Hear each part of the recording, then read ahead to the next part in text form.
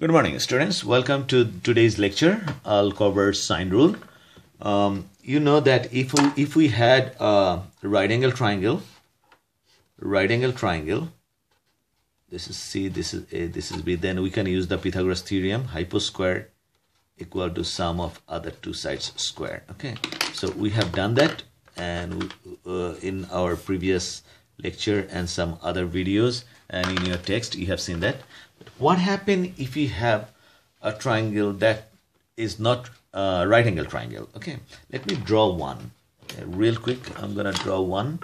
If you have a triangle like this this and then let's say is this and this one over here is this.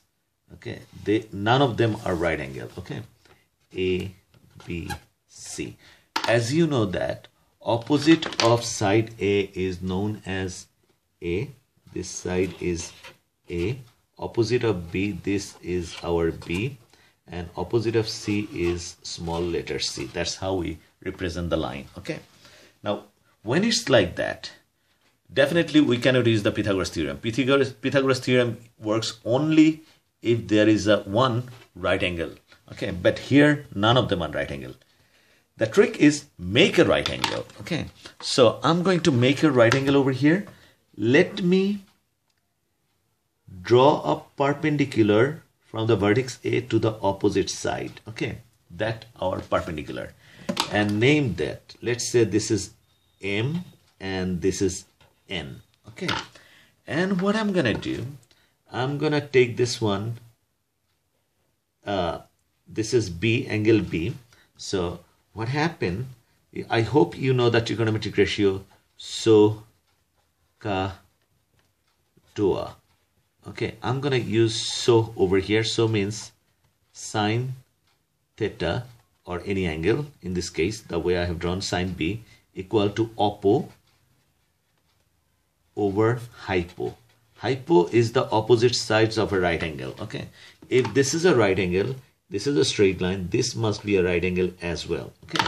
So sine b sine b is supposed to be oppo over hypo. Oppo is let me just name this one ax okay. That's gonna be ax over this ab and ab is nothing but c.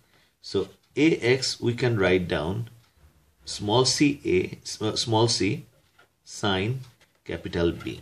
Okay now, if I go for this one, sine C, okay, I'm gonna do, let's say, this is equation one, and then sine C, capital C here, this is a small c, equal to, oppo is AX by B. Now, AX is going to be B sine capital C, that's 2, okay comparing these two ax equal to ax I can write down c sine b equal to b sine c.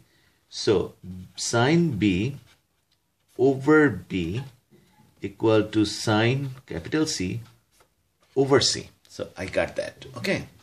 Now I, I left out triangle uh, angle A okay. Right over here angle A. I didn't put it over here so what I'm gonna do, I'm gonna draw this triangle again. Let's draw this triangle again. And this time, it's more or less the same, okay? I'm not uh, measuring that, just, just to show you how this thing works, okay? And then, I'm gonna draw a perpendicular now from here to here okay roughly i'm i'm, I'm not doing geometrical proof okay i'm just drawing a roughly a right angle right over here if this is a right angle this must be a right angle. I'm gonna keep the same leveling over here. This is A this is B this is C. So opposite of that is I don't need this actually. A and this is B and this is C okay? So uh, sine A. So sine capital A is again let's name this B uh, Y over here okay. Sine a again oppo by hypo. Sine a this angle. So that's going to be by over c. So i can write down by equal to c sine a. Okay. That's my equation 3 and then sine c. Sine c is supposed to be oppo by by oppo by hypo a so by is supposed to be a sine c.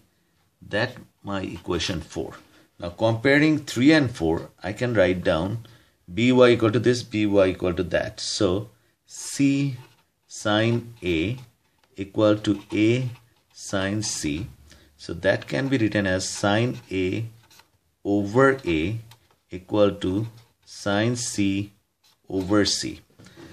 Now see that sine A over A equal to sine C over C and sine B over B equal to sine C over C. These two are common. Okay.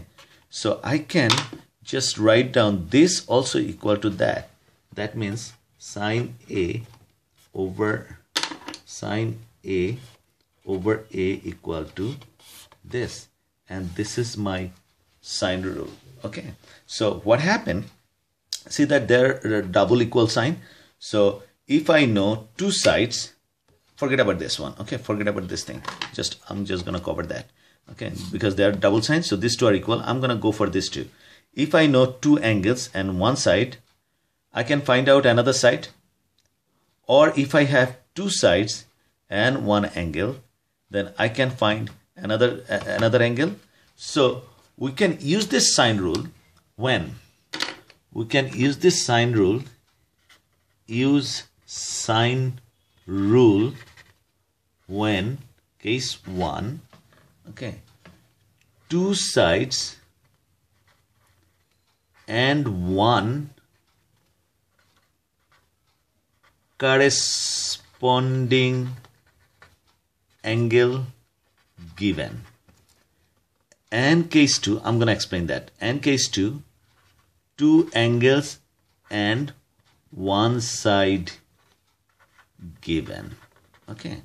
What this corresponding means. Okay. I'm to go for two sides and one corresponding angle.